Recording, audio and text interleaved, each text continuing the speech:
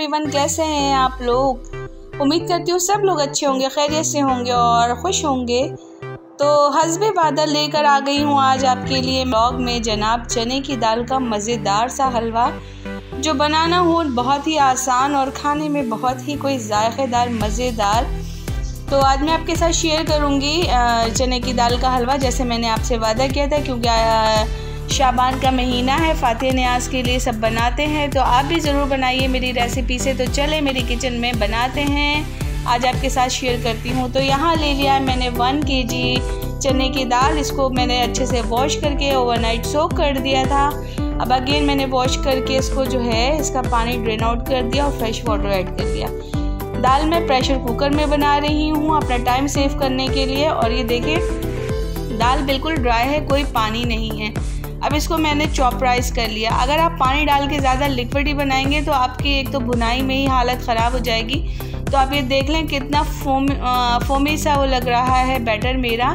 बिल्कुल भी पानी नहीं है इसके अंदर, मगर बहरहाल मैंने एक खुले मुँह का बर्तन ले लिया इस मैंने नॉन स्टिक पैन ली है, मगर दाल के हिसाब से पैन छोटा है तो मैं बाद में आगे जाके पैन चेंज कर लूँगी। यहाँ पर ऐड किया है मैंने रिफ़ाइन ऑयल आपकी मर्ज़ी है, आप जो है घी में बनाएँ या ऑयल में बनाएँ। डेढ़ कप मैंने ऑयल ऐड कर लिया है इसके अंदर और इसकी भुनाई कर रही हूँ। इसकी जनाब भुनाई अच्छी खासी होनी है, तकरीबन आपने दो तीन घंटे तो कहीं नहीं जाना, इसको की भुनाई में, क्योंकि बिल्कुल लो फ्लेम पे करेंगे हम, अगर हाई फ्लेम पे करते हैं तो जनाब ये फटाफट जल जाएगा और जो है भुनाई अच्छी से नहीं हो पाएगी। यहाँ मैंने पैन कर लिया चेंज क्योंकि वो मुझे थोड़ा छोटा पड़ रहा था। यहाँ मैंने टू टेबल स्पून घी ऐड कर लिया। तीन से चार मैंने लौंग ऐड कर लिया, उसको क्रैकल कर लिया और साथ में ही ये ग्रीन कार्डिमन को जो है फ्रेशली ग्राउंड किया और इसके साथ ऐड कर दिया। अब हमने करनी है इसकी अच्छी सी बुनाई बुनाई इतनी करनी है कि जनाब बिल्कुल आपको जब खुशबू आने लगे तो पता चल जाए कि आपके जो है इसकी बुनाई हो गई है अच्छी सी। इतनी बुनाई करनी है मीन्स कि आपको खासी मेहनत करनी है। अब वन के मैंने दाल लिया था तो उसी के अकॉर्डिंगली उसी की प्रोपोर्शन के हिसाब से हमने शुगर ले लिया और यहाँ पे शुगर सिरप बना रही हूँ। इसको करने से एक फ़ायदा ये होगा कि टाइम की सेविंग ज़्यादा हो जाएगी। अगर हम डायरेक्ट भी शुगर ऐड कर सकते थे उसमें मगर ये कि जो है, थोड़ा सा पकने में थोड़ा ज़्यादा टाइम लेता है। यहाँ मैंने वन टेबल स्पून जो है केवड़ा वाटर ले लिया, ज़ाफ़रानी केवड़ा water one four teaspoon जो है लिया है मैंने food colour yellow food colour और इसका एक अच्छा सा सिरप बना लिया। तो तार वार नहीं बनानी है, बस जस्ट सिरप बना लिया। वापस मैंने अपना जो दाल वाला पतीला था, उसको रख लिया, और ये जो है शीरा, ये सिरप शुगर सिरप जो है उसमें ऐड कर दी और ये भुनाई कर दी। अब आप सोचेंगे, ये तो बिल्कुल लम्स बन गए और ये पता नहीं क्या हो गया।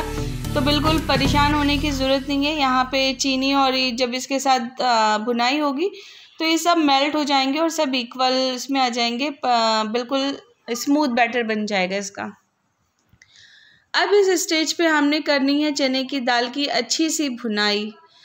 अब यहाँ पर आपकी मर्ज़ी है आपकी कौन कौन से ड्राई फ्रूट्स ऐड करना चाह रहे हैं। मैंने जस्ट डेटिके डेसिकेटेड कोकोनट ऐड किया था टू टेबल स्पून और ये मैं गार्निशिंग में ऐड करूँगी। अब जो मर्ज़ी आपके ड्राई फ्रूट्स ऐड करना चाहें, अंदर और बाहर, यानी टॉपिंग पे भी कर दीजिए, और अंदर में भुनाई के टाइम भी ऐड कर सकते हैं। तो चने की दाल की भुनाई हो रही है अच्छी वाली, और अपने बाजुओं में जान लाना ज़रूरी है, क्योंकि इस भुनाई के लिए ना आपको बहुत अच्छी खासी एनर्जी चाहिए होती है। बहरहाल, मैंने मज़ीद दो टेबल स्पून जो है, घी ऐड किया है और इसकी अच्छी वाली भुनाई हो रही है। अगर यहाँ पे आपको वीडियो फास्ट फॉरवर्ड से समझ में ना आए तो आप मेरे अफशा फूड्स पे जो है, जाके देख लीजिएगा। डिटेल में वहाँ पे रेसिपी आपको आराम से समझ आ जाएगी। वैसे मैंने पूरी कोशिश की है कि आपको पूरा पूरा जो है, बताऊँ, ताकि आपसे कुछ भी मिस ना हो। यहाँ मेरा हलवा हो गया है रेडी। और देखें, जब सब इकट्ठा होने लगे, इसका मतलब है कि आपका जो है हलवा रेडी हो गया है सर्विंग मूड में आ गया है। यहाँ मैंने एक पैन ले लिया, बड़े खुले मुँह का जो है ट्रे ले लें, बर्तन जो भी, जिसमें आप फैलाना चाहें हलवे को। तो उसको हल्का सा ग्रीस कर लिया और मैं चम्मच स्पैचुला की मदद से इसको बैलेंस कर रही हूँ, क्योंकि बहुत गर्म है। इस स्टेज पे आप चांदी का वरख लगा लें ड्राई फ्रूट्स डाल दें और जो मर्ज़ी आए कर लें। मैंने जो है चांदी का वरख बाद में लगाया था बहरहाल। इसी स्टेज पे आपको गरम गरम में ही ड्राई फ्रूट्स ऐड कर लेना है और चांदी के वरख लगा के इसको सेट कर लेना है और इसकी कटिंग कर लेनी है। सेट होने के बाद फ़ौरन से हम कटिंग नहीं करेंगे क्योंकि अभी जो है ये हलवा बहुत ही ज़्यादा गर्म है तो शेप लेने में ये बिल्कुल भी शेप नहीं ले पाएगा। तो आपने क्या करना है, इसको एक दो घंटे के लिए छोड़ दीजिएगा, जो भी आपको ड्राई फ्रूट्स वगैरह लगाने हैं, लगा के, चांदी का वर्क लगा के छोड़ दीजिएगा। एक दो घंटे बाद जब ये हलवा थोड़ा ठंडा हो जाएगा और ये सेट हो जाएगा तब आप इसको शेप कर लेंगे। यहाँ तैयार हो गए थे मेरे हलवा हलवा तैयार हो गया। अब जनाब मैं किचन की क्लीनिंग भी साथ साथ कर रही हूँ तो आज मैं पहले फ्रिज की क्लीनिंग करूँगी। तो एक टब में मैंने ले लिया है डिटर्जेंट पाउडर लिक्विड वॉश जो यानी जो वॉश करने वाला वो होता है आ, मैक्स वगैरह। वो ऐड कर लिया है मैंने साथ में मैंने दो से तीन टेबल स्पून जितना या चार टेबल स्पून जितना वाइट विनेगर ऐड कर लिया और ये इसका एक आ, पानी बना लिया है जिससे हमने करनी है फ्रिज की क्लीनिंग विनेगर डालने से जो है ये तमाम चीज़ों का लिक्विड बनाने से आसानी ये होगी कि आपका फ्रिज जितना भी डर्टी होगा सब क्लीन हो जाएगा। तो ये देख ले बिफ़ोर मेरी फ्रिज की कंडीशन यहाँ मेरे बच्चे मेरी हेल्प करवा रहे हैं। फ्रिज में से जो भी सामान वगैरह है, सारा क्लियर मेरे दोनों बच्चों ने किया था। दोनों बच्चे मेरी हेल्प करवा रहे थे और मैं अपने बच्चों को लगा के रखती हूँ। छोटे छोटे मैं, मुझे बोलने की ज़रूरत नहीं पड़ती, अल्हम्दुलिल्लाह दोनों बच्चे मेरे खुद ही कि मम्मा, मैं हेल्प कराऊँ तो यहाँ मैं जो है वीडियो भी बना रही हूँ और सामान जो है फ्रिज में से खाली कर रहे हैं मेरे दोनों बच्चे।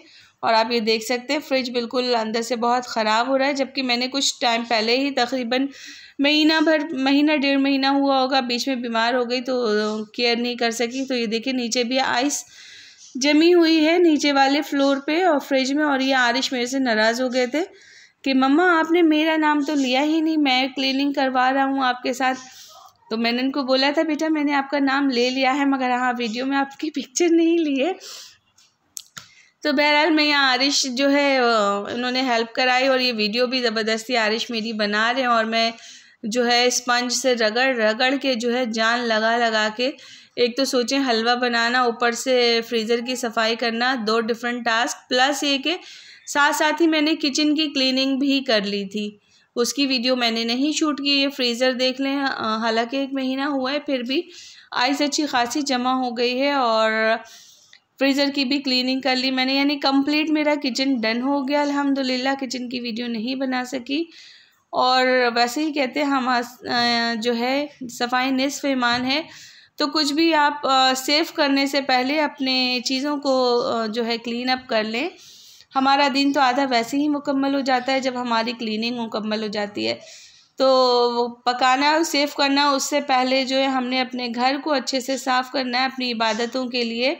ताकि हम साफ़ सुथरे घर में साफ़ सुथरे माहौल में एक अच्छी वाइब भी आती है। अगर आपका घर साफ़ सुथरा आपकी चीज़ें, आपका किचन आपका फ्रिज आपके काम करने वाली जगह, आपके बर्तन सब सारे नीट एंड क्लीन और अपने अपने स्पेसिस पे रखे हुए हों तो आपको वैसे ही मेंटली जो है सुकून में आ जाते हैं।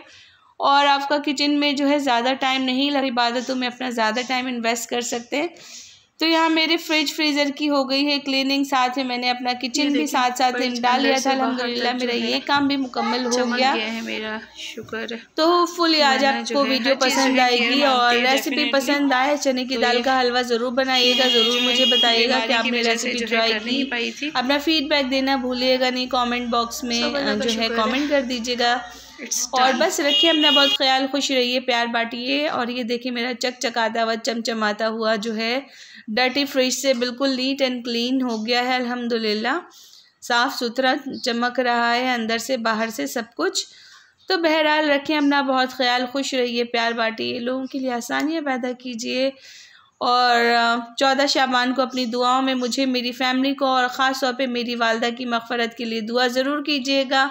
उनको अपनी दुआओं में, अपनी ख़ास इबादतों में याद रखिएगा और ख़ास इबादतों में मेरी फैमिली का, मेरे बच्चों का नाम ज़रूर लीजिएगा और उन सब के लिए दुआएँ, खैर कीजिएगा मेरे हस्बैंड के लिए, मेरी बहनों के लिए, सब के लिए। अपनी दुआओं में इबादतों में याद रखिएगा। फिर मिलते हैं आपसे इन अल्लाह लव यू ऑल